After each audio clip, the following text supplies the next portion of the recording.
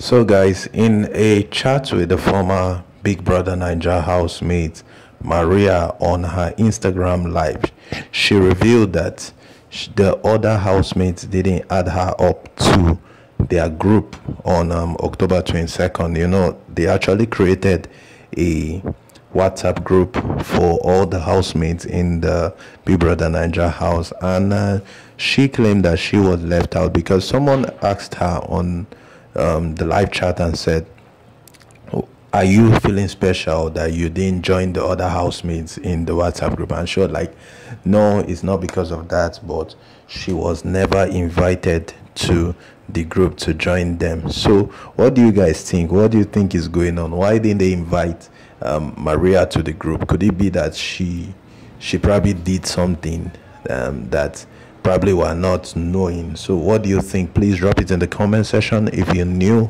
please hit the red subscribe button below. Also, if you're returning, you can hit the push notification bell so that you'll be the first to get amazing updates as we keep dropping each and every day. Thank you so much, guys, for your time. See you soon. Do have a lovely day.